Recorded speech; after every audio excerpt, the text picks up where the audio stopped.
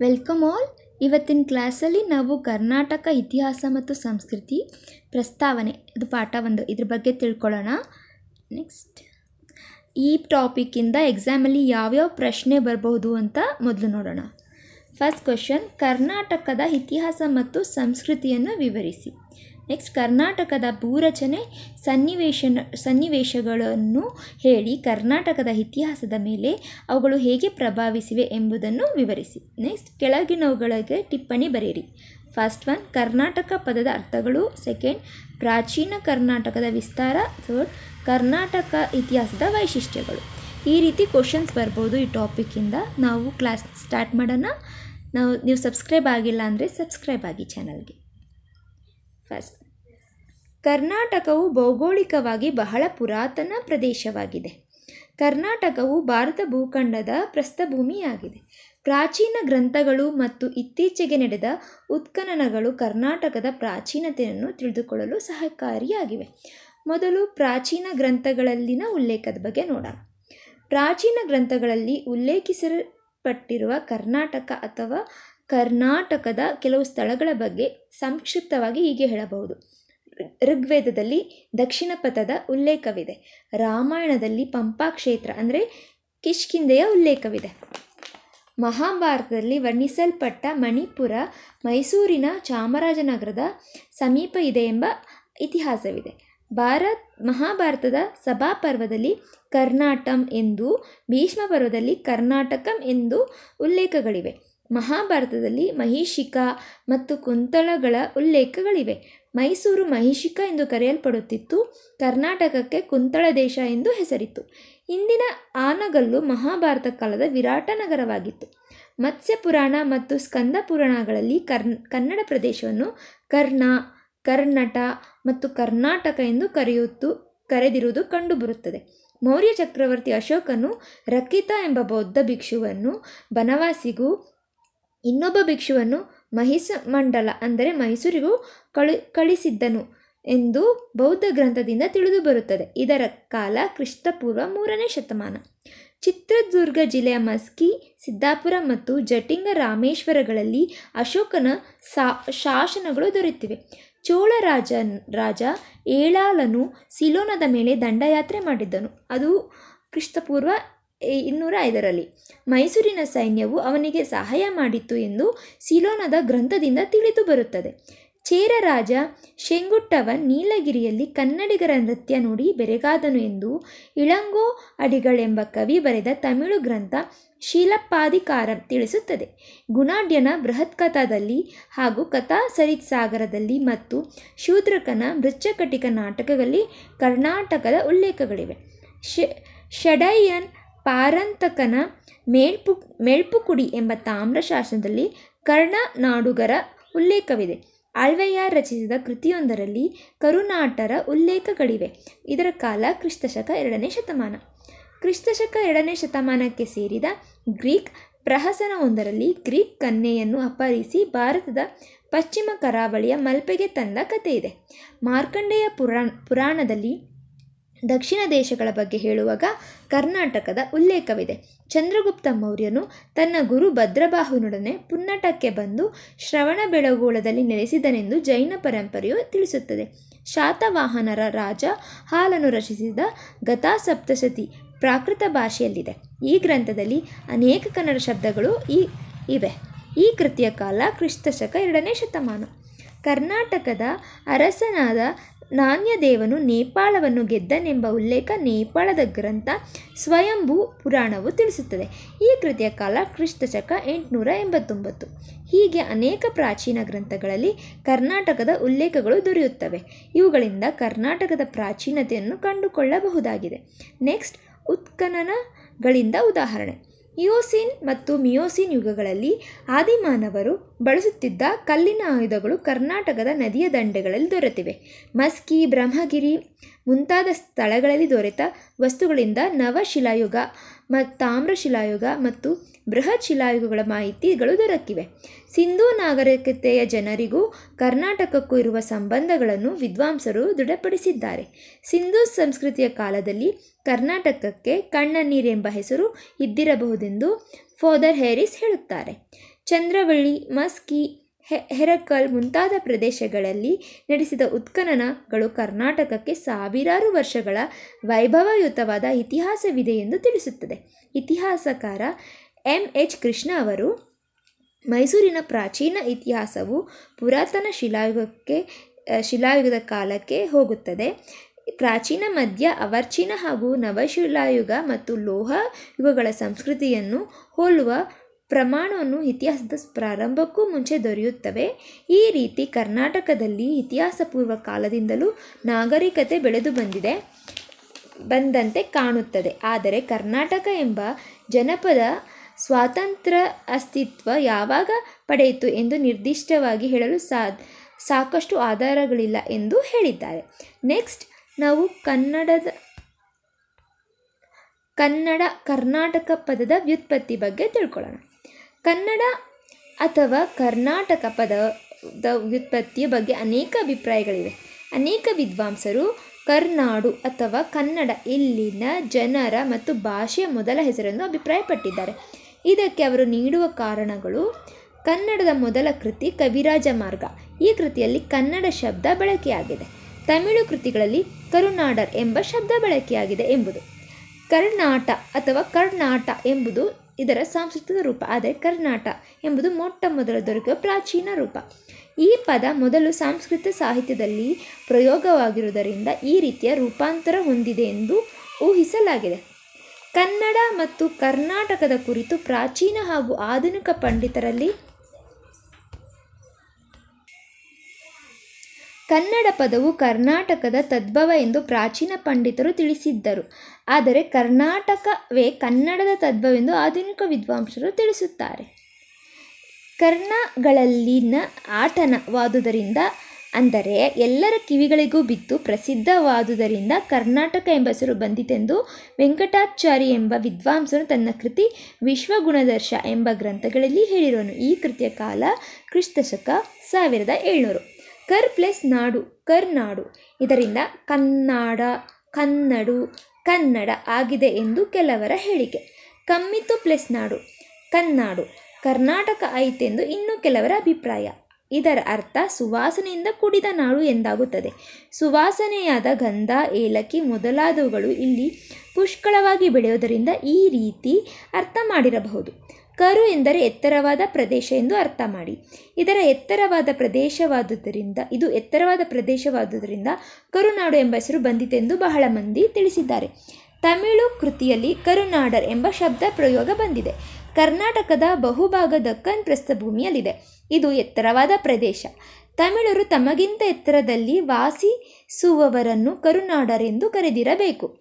ಮೊದಮೊದಲು ಕರುನಾಡು ಎಂಬುದು ಈ ಪ್ರದೇಶ. ಕರುನಾಡು ಎಂಬುದು ಈ ಪ್ರದೇಶವನ್ನು, ಕರುನಾಡರ್ ಎಂಬುದು ಈ ಪ್ರದೇಶದ ಜನರು ಎಂದು ತಿಳಿಯಲಾಗಿತ್ತು ಎಂದು ಹೇಳಲಾಗಿದೆ. ಮಹಾಭಾರತದ ಪುಣೆಯ ಆವೃತ್ತಿಯಲ್ಲಿ ಕರ್ನಾಟಕಕ್ಕೆ ಪರ್ಯಾಯವಾಗಿ ಉನ್ನ, ಉನ್ನತ್ಯಕ ಎಂಬ ಪದ ಬಳಕೆಯಾಗಿದೆ. ಇದರ ಅರ್ಥ ಕೂಡ ಎತ್ತರವಾದ ಪ್ರದೇಶ ಎಂದೇ ಆಗಿದೆ. ಕನ್ನಡ ಪ್ರಾಚೀನ ದ್ರಾವಿಡ ಭಾಷೆಗಳಲ್ಲಿ ಒಂದು. ಕನ್ನಡದ ಮೊದಲ ಶಾಸನ ಕದಂಬರ ಹಲ್ಮಿಡಿ ಶಾಸನ. ಈ ಶಾಸನದ ಕಾಲ ಸುಮಾರು ಕ್ರಿಸ್ತ ಶಕ ನಾನ್ನೂರ ಐವತ್ತು. ಈ ಶಾಸನ ಕನ್ನಡ ಭಾಷೆ ಹಾಗೂ ಕನ್ನಡ ಲಿಪಿಯಲ್ಲಿ ಇದೆ. ಅಂದರೆ ಕ್ರಿಸ್ತಶಕ ನಾನ್ನೂರೈವತ್ತರ ಹೊತ್ತಿಗೆ ಕನ್ನಡ ಭಾಷೆ ಮತ್ತು ಲಿಪಿ ಬರ ರೂಪದಲ್ಲಿ ಬರಬೇಕಾದರೆ ಅದಕ್ಕಿಂತಲೂ ಮೂರರಿಂದ ನಾಲ್ಕು ಶತಮಾನಗಳ ಹಿಂದೆಯೇ ಕನ್ನಡ ಸಮಾಜದಲ್ಲಿ ಆಡುಮಾತಿನ ರೂಪದಲ್ಲಿ ಇದ್ದಿರಬೇಕು. ಕರ್ನಾಟಕ ಪದಕ್ಕೆ ಕರ್ನಾಟಕ ಪದಕ್ಕೆ ಕರ್ನಾಟಕ ಎಂಬ ಇನ್ನೊಂದು ರೂಪವೂ ಇದೆ. ಕರ್ನಾಡು ಎಂದರೆ ಕರಿಮಣ್ಣಿನ ನಾಡು ಎಂದು ಕೆಲವರು ವ್ಯಾಖ್ಯಾನಿಸಿದ್ದಾರೆ. ಇವು ಇದರ ಉತ್ಪತ್ತಿಗೆ ಅನುಸಾರವಾಗಿ ಕನ್ನಡ ಪದ ರೂಢಿಯಲ್ಲಿ ಬಂದಿರಬೇಕು ಎಂದು ಅವರ ಅಭಿಪ್ರಾಯ. ಹೀಗೆ ಕರ್ನಾಟಕ ಎಂಬ ಪದದ ವ್ಯುತ್ಪತ್ತಿಯ ಬಗ್ಗೆ ವಿದ್ವಾಂಸರು ಬೇರೆ ಬೇರೆ ಅಭಿಪ್ರಾಯ ವ್ಯಕ್ತಪಡಿಸಿದ್ದಾರೆ. ನೆಕ್ಸ್ಟ್, ಭೌಗೋಳಿಕ ಲಕ್ಷಣಗಳ ಬಗ್ಗೆ ತಿಳ್ಕೊಳ್ಳೋಣ. It is geography which creates history ಎಂಬ ಮಾತೊಂದಿದೆ. ಇತಿಹಾಸದಲ್ಲಿ ಅಭ್ಯಸಿಸುವ ರಾಜಮನೆತನಗಳ ರಾಜಧಾನಿ, ಆರ್ಥಿಕ, ಸಾಮಾಜಿಕ ಹಾಗೂ ಸಾಂಸ್ಕೃತಿಕ ಜೀವನಗಳನ್ನು ಭೂಗೋಳ ಅಥವಾ ಭೌಗೋಳಿಕ ಸಂಗತಿಗಳು ರೂಪಿಸುತ್ತವೆ. ಕರ್ನಾಟಕದ ಇತಿಹಾಸವನ್ನು ತಿಳುವಾಗ ಇಲ್ಲಿನ ಭೌಗೋಳಿಕ ಸಂಗತಿಗಳು ಅವು ಜನಜೀವನದ ಮೇಲೆ ಬೀರುವ ಪ್ರಭಾವ ಇವುಗಳನ್ನು ತಿಳಿದುಕೊಳ್ಳಬೇಕು. ಕರ್ನಾಟಕವು ದಕ್ಕನ್ ಪ್ರಸ್ಥಭೂಮಿಯ ನೈಋತ್ಯಕ್ಕೆ ಇದೆ. ಕರ್ನಾಟಕವು eleven degree thirty one minute ಮತ್ತು eighteen degree forty five minute ಉತ್ತರ ಅಕ್ಷಾಂಶಗಳ ನಡುವೆ ಹಾಗೂ seventy four degree twelve minute ಮತ್ತು seventy eight degree forty minute ಪೂರ್ವ ರೇಖಾಂಶಗಳ ನಡುವೆ ಇದೆ. ಇದರ ಮೇರೆಗಳ ಬಗ್ಗೆ ತಿಳಿದುಕೊಳ್ಳೋಣ. ಕರ್ನಾಟಕದ ಉತ್ತರದಲ್ಲಿ ಮಹಾರಾಷ್ಟ್ರ, ವಾಯವ್ಯದಲ್ಲಿ ಗೋವಾ, ಪೂರ್ವದಲ್ಲಿ ಆಂಧ್ರ ಪ್ರದೇಶ ಮತ್ತು ತೆಲಂಗಾಣ, ದಕ್ಷಿಣದಲ್ಲಿ ಕೇರಳ ಮತ್ತು, ಹಾಗೂ ತಮಿಳುನಾಡು ಹಾಗೂ ಪಶ್ಚಿಮಕ್ಕೆ ಅರಬ್ಬಿ ಸಮುದ್ರಗಳು ಇವೆ. ಕರ್ನಾಟಕದ ಸ್ವಾಭಾವಿಕ ಲಕ್ಷಣಗಳ ಬಗ್ಗೆ ತಿಳ್ಕೊಳ್ಳೋಣ. ಕರ್ನಾಟಕ ರಾಜ್ಯದ ವಿಸ್ತರಣೆ ಸುಮಾರು ಒಂದು ಲಕ್ಷದ ತೊಂಬತ್ತೊಂದು ಸಾವಿರದ ಏಳ್ನೂರ ತೊಂಬತ್ತೊಂದು ಕಿಲೋಮೀಟರ್ ಸ್ಕ್ವೇರ್. ನೈಸರ್ಗಿಕ ಲಕ್ಷಣಗಳಿಗೆ ಅನುಸಾರವಾಗಿ ಕರ್ನಾಟಕವನ್ನು ಪಶ್ಚಿಮ ಕರಾವಳಿ, ಸಹ್ಯಾದ್ರಿ ಶ್ರೇಣಿ, ಮಲೆನಾಡು, ಉತ್ತರ ಮೈದಾನ ಪ್ರದೇಶ, ದಕ್ಷಿಣ ಮೈದಾನ ಪ್ರದೇಶ ಎಂಬ ವಿಭಾಗಗಳನ್ನಾಗಿ ಮಾಡಲಾಗಿದೆ. ಮೊದಲು ಪಶ್ಚಿಮ ಕರಾವಳಿ ಬಗ್ಗೆ ನೋಡೋಣ. ಪಶ್ಚಿಮ ಕರಾವಳಿಯು ಸಹ್ಯಾದ್ರಿ ಶ್ರೇಣಿ ಮತ್ತು ಅರಬ್ಬಿ ಸಮುದ್ರಗಳ ನಡುವೆ ಇದೆ. ಪಶ್ಚಿಮ ಕರಾವಳಿಯ ಉದ್ದ ಮುನ್ನೂರ ಐವತ್ತು ಕಿಲೋಮೀಟರ್, ಅಗಲ ಐವತ್ತರಿಂದ ಅರವತ್ತು ಕಿಲೋಮೀಟರ್ ಆಗಿದೆ. ಪಶ್ಚಿಮ ಕರಾವಳಿ ಪ್ರದೇಶದ ಪ್ರದೇಶದಲ್ಲಿ ಉತ್ತರ ಕನ್ನಡ ಜಿಲ್ಲೆ ಹಾಗೂ ದಕ್ಷಿಣ ಕನ್ನಡ ಜಿಲ್ಲೆಗಳಿವೆ. ಕರಾವಳಿಯ ಭೂಮಿ ಫಲವತ್ತಾಗಿದೆ. ಹೆಚ್ಚು ಉಷ್ಣ, ಮಳೆಯ ಪ್ರಮಾಣವೂ ಹೆಚ್ಚು. ಸರಾಸರಿ ನೂರು ಅಂಗುಲ ಮಳೆಯಾಗುತ್ತದೆ ಅನೇಕ ನದಿಗಳು ಪಶ್ಚಿಮ ಘಟ್ಟದಲ್ಲಿ ಹುಟ್ಟಿ ಪಶ್ಚಿಮ ಕರಾವಳಿಯಲ್ಲಿ ಹರಿದು ಅರಬಿ ಅರಬ್ಬಿ ಸಮುದ್ರವನ್ನು ಸೇರುತ್ತವೆ. ಈ ನದಿಗಳು ಮೆಕ್ಕಲು ಮಣ್ಣನ್ನು ಈ ಪ್ರದೇಶದಲ್ಲಿ ಶೇಖರಿಸುತ್ತದೆ. ಕಾಳಿ, ಆಗನಾಶಿನಿ, ಶರಾವತಿ, ಗಂಗಾವಳಿ ಮತ್ತು ನೇತ್ರಾವತಿ ನದಿ ಮುಂತಾದ ನದಿಗಳು ಪಶ್ಚಿಮ ಕರಾವಳಿಯಲ್ಲಿ ಹರಿದು ಹರಿಯುವ ನದಿಗಳಾಗಿವೆ. ಭತ್ತ, ತೆಂಗು, ಅಡಿಕೆ ಮತ್ತು ಗೋಡಂಬಿ ಇಲ್ಲಿನ ಮುಖ್ಯ ಬೆಳೆಗಳು. ಮಂಗಳೂರು, ಮಲ್ಪೆ, ಭಟ್ಕಳ, ಹೊನ್ನಾವರ, ಕುಮುಟ ಮತ್ತು ಕಾರವಾರ ಇಲ್ಲಿಯ ಮುಖ್ಯ ಬಂದರುಗಳಾಗಿವೆ. ಪ್ರಾಚೀನ ಕಾಲದಿಂದ ಈ ಬಂದರುಗಳಿಂದ ವಿದೇಶದೊಡನೆ ವ್ಯಾಪಾರ ವಹಿವಾಟು ನಡೆಯುತ್ತಿದ್ದವು. ರಾಜ್ಯದ ಆರ್ಥಿಕ ಸ್ಥಿತಿ ಉನ್ನತಿಗೆ ಈ ಬಂದರುಗಳ ಕೊಡುಗೆ ಅಪಾರವಾಗಿದೆ. ಮೆಣಸು, ಶ್ರೀಗಂಧ ಪ್ರಶಕ್ತ ರತ್ನಾದಿಗಳು, ಅಕ್ಕಿ, ಸಾಗವಾನಿ ಮತ್ತು ದಂತ ಮುಂತಾದವುಗಳನ್ನು ಈ ಬಂದರುಗಳಿಂದ ವಿದೇಶಗಳಿಗೆ ರಫ್ತಾಗುತ್ತಿದ್ದ ಮುಖ್ಯ ವಸ್ತುಗಳಾಗಿದ್ದವು. ಒಳನಾಡುಗಳ ಉತ್ಪಾದನೆಗಳು ಕೂಡ ಈ ಬಂದರುಗಳಿಂದ ಪರದೇಶಗಳಿಗೆ ರಫ್ತಾಗುತ್ತಿದ್ದವು. ಪಾಶ್ಚಾತ್ಯ ದೇಶಗಳೊಡನೆ ನಡೆಯುತ್ತಿದ್ದ ವಾಣಿಜ್ಯ ವ್ಯವಹಾರಗಳು ಸಾಂಸ್ಕೃತಿಕ ಬೆಳವಣಿಗೆಗಳಿಗೂ ಕಾರಣವಾದವು.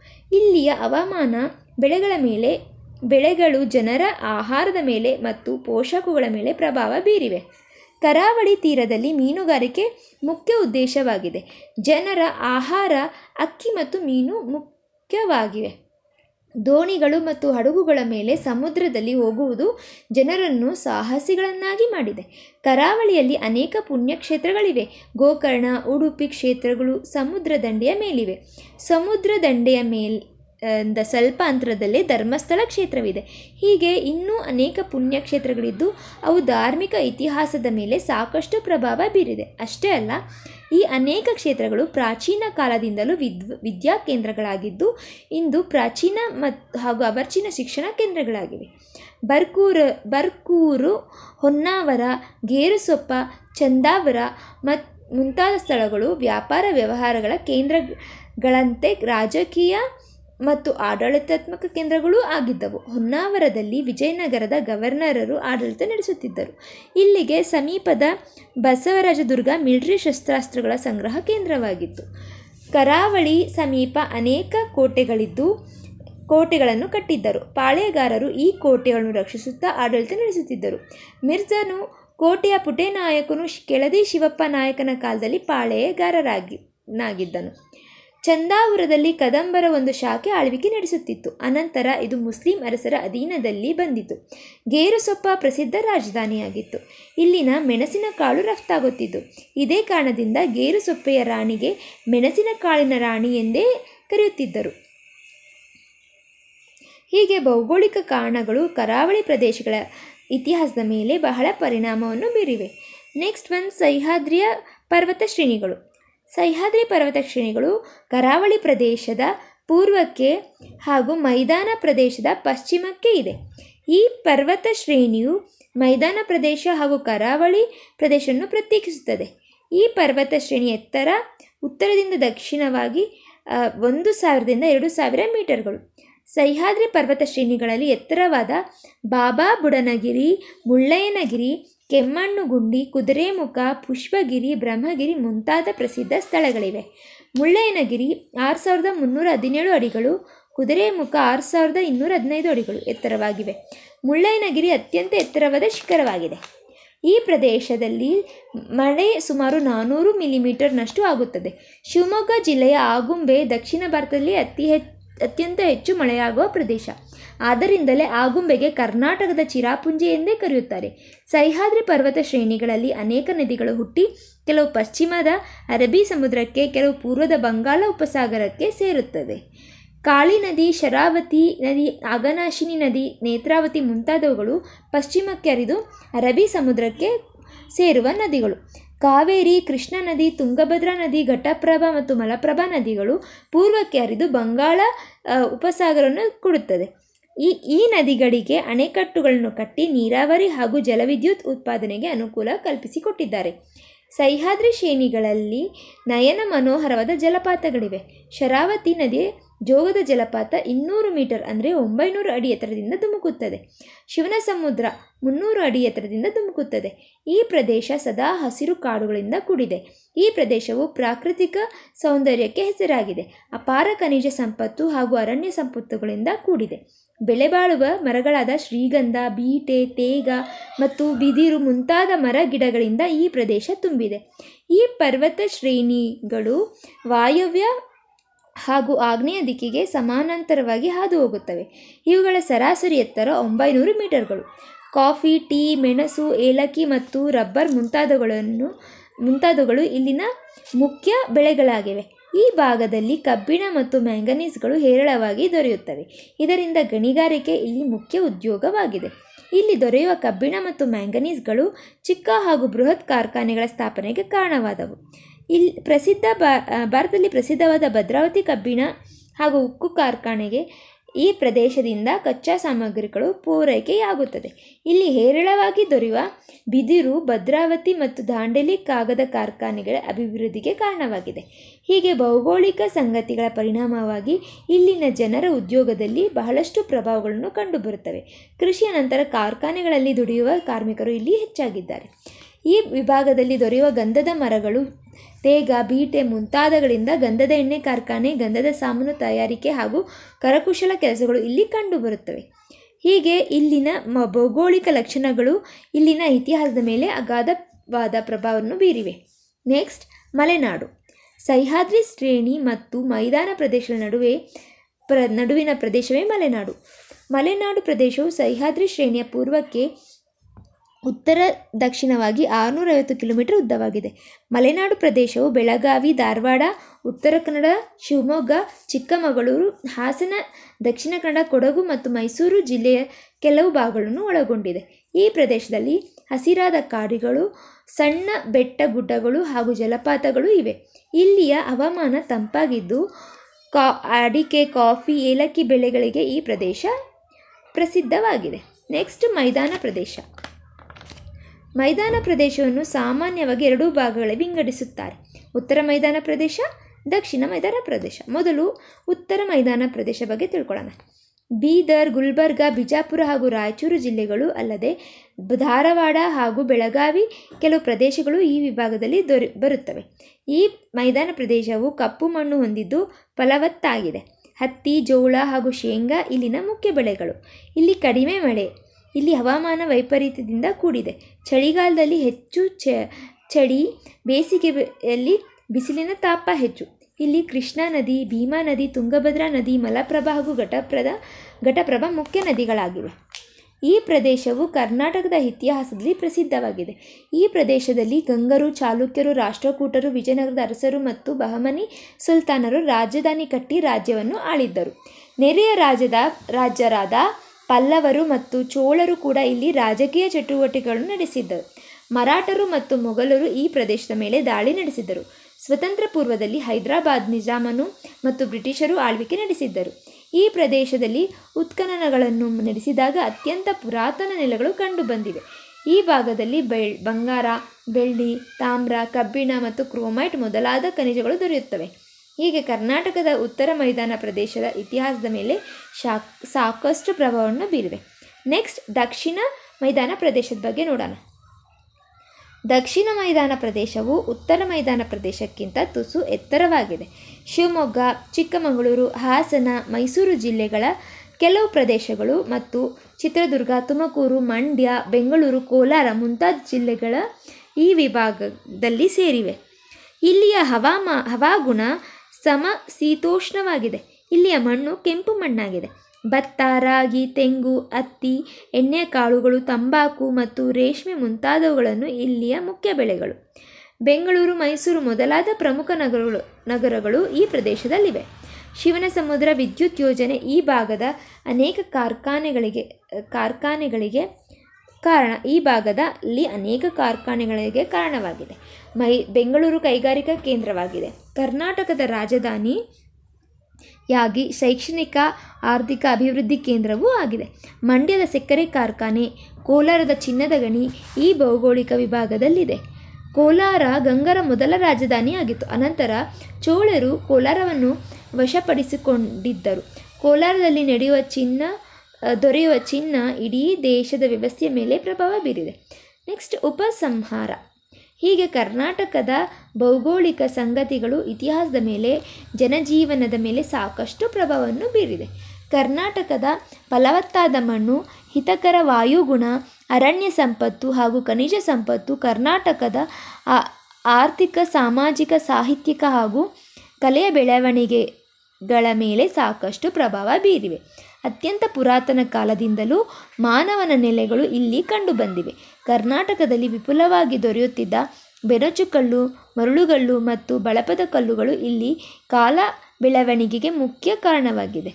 ಉದಾಹರಣೆಗೆ, ಬೇಲೂರಿನ ಚನ್ನಕೇಶವ ದೇವಾಲಯ ಶ್ರವಣಬೆಳಗೊಳದ ಗೊಮ್ಮಟೇಶ್ವರ ಮೂರ್ತಿ ಮುಂತಾದವುಗಳನ್ನು ಸ್ಮರಿಸಬಹುದು. ಕರ್ನಾಟಕವು ದಕ್ಷಿಣ ಭಾರತದ ಕೇಂದ್ರ ಸ್ಥಾನದಲ್ಲಿರುವುದರಿಂದ ದಕ್ಷಿಣ ದಕ್ಷಿಣ ಭಾರತದ ರಾಜಕೀಯ ಕೇಂದ್ರ ಕರ್ನಾಟಕವಾಗಿತ್ತು. ಕಲೆ ಮತ್ತು ಸಂಗೀತಗಳಲ್ಲಿ ಕರ್ನಾಟಕದ ಸಮನ್ವಯ ಕೇಂದ್ರವಾಗಿತ್ತು. ಉತ್ತರ ಭಾರತದ ನಾಗರ ಶೈಲಿ, ದಕ್ಷಿಣ ಭಾರತದ ದ್ರಾವಿಡ ಶೈಲಿಯ ಸಮ್ಮೇಳನ ಕರ್ನಾಟಕದಲ್ಲಿ ಆಗಿ ವೇಸರ ಶೈಲಿ ಎಂಬ ಶೈಲಿಯು ಇಲ್ಲಿ ಪ್ರಾರಂಭವಾಯಿತು. ಸಂಗೀತ ಕ್ಷೇತ್ರದಲ್ಲಿಯೂ ಉತ್ತರಾದಿ, ದಕ್ಷ ಸಂಗೀತ ಮತ್ತು ದಕ್ಷಿಣಾದಿಗಳ ಸಮನ್ವಯವಾಯಿತು. ಕರ್ನಾಟಕವು ವಿದೇಶಗಳೊಡನೆ ಸಂಪರ್ಕವನ್ನು ಹೊಂದಿತ್ತು. ಪುರಾತನ ನಾಗರಿಕತೆಗಳನ್ನು ಹೊಂದಿದ್ದ ಈಜಿಪ್ಟ್, ಸುಮೇರಿಯಾ ಮುಂತಾದ ದೇಶಗಳ, ದೇಶಗಳೊಡನೆ ಕರ್ನಾಟಕದ ಸಂಬಂಧವಿತ್ತು. ಯಶನ್, ಯಶವಂತಪುರದಲ್ಲಿ ನಡೆದ ಉತ್ಖನನದಲ್ಲಿ ರೋಮನ್ ಚಕ್ರವರ್ತಿ ಕ್ಯಾಲಿಗೋಲನ ಬಂಗಾರದ ನಾಣ್ಯಗಳು ದೊರಕಿವೆ. ಚಂದ್ರವಳ್ಳಿಯಲ್ಲಿ ಚೀನಾದ ಚಕ್ರವರ್ತಿ ಹಾನ್ ವಾಹಿಯ ತಾಮ್ರದ ನಾಣ್ಯವು ದೊರಕಿದೆ. ಇವು ವ್ಯಾಪಾರಿ ಸಂಬಂಧವನ್ನು ತಿಳಿಸುವ ಉದಾಹರಣೆಗಳು. ಹೀಗೆ ಭೌಗೋಳಿಕ ಸಂಗತಿಗಳು ಇತಿಹಾಸದ ಮೇಲೆ ನಾನಾ ರೀತಿಯಲ್ಲಿ ಪ್ರಭಾವಗಳನ್ನು ಬೀರಿವೆ. ಭಾರತದ ಪ್ರಾಚೀನ ನಾಗರಿಕತೆಯಾದ ಹರಪ್ಪ ಮತ್ತು ಮೊಹೆಂಜುದಾರೋ ದೊಡನೆ ಕರ್ನಾಟಕದ ಸಂಬಂಧವಿತ್ತು. ಈ ನಾಗರಿಕತೆಯಲ್ಲಿ ಕಂಡುಬಂದ ಹಲವಾರು ರತ್ನಗಳು ಮೈಸೂರು ಮತ್ತು ನೀಲಗಿರಿಯಲ್ಲಿ ಕಂಡುಬಂದಿವೆ. ಕೊಡಗಳನ್ನು ತಯಾರಿಸುವ ಶೈಲಿಯಲ್ಲಿಯೂ ಸಮನ್ವತೆ, ಸಮನ್ಯ, ಸಾಮ್ಯತೆಗಳಿವೆ. ಮೀನು ಅಂದರೆ ಮತ್ಸ್ಯ ದೇವತೆ ಆರಾಧನೆ, ಸಿಂಧೂ ನಾಗರಿಕತೆಯಲ್ಲಿ ಹಾಗೂ ಕರ್ನಾಟಕದಲ್ಲಿ ರೂಢಿಯಲ್ಲಿದ್ದವು. ಬ್ರಹ್ಮಗಿರಿ, ಚಂದ್ರವಳ್ಳಿ ಮೊದಲಾದ ಕಡೆ ನಡೆದ ಉತ್ಖನನಗಳು ಕರ್ನಾಟಕದ ಪ್ರಾಚೀನತೆಯನ್ನು ತಿಳಿದುಕೊಳ್ಳಲು ಸಹಾಯಕವಾಗಿವೆ. ವೃಷಭ ಪೂಜೆ, ಚಂದ್ರ ಪೂಜೆ, ನಾಗನ ಪೂಜೆ, ವೃಕ್ಷ ಪೂಜೆ ಮುಂತಾದವುಗಳು ಕೂಡ ಪ್ರಾಚೀನ ಸಂಸ್ಕೃತಿಯಲ್ಲಿ ದ್ಯೋತಕಗಳಾಗಿವೆ. ಇನ್ನು ನೆಕ್ಸ್ಟ್ ಕ್ಲಾಸಲ್ಲಿ ನಾವು ಆಧಾರಗಳು ಅಂದರೆ ಸೋರ್ಸಸ್ ಬಗ್ಗೆ ಕಲ್ತ್ಕೊಳ್ಳೋಣ. ಚಾನಲ್ ಇಷ್ಟ ಆಗಿದ್ದರೆ ದಯವಿಟ್ಟು ಸಬ್ಸ್ಕ್ರೈಬ್ ಮಾಡಿ. Thank you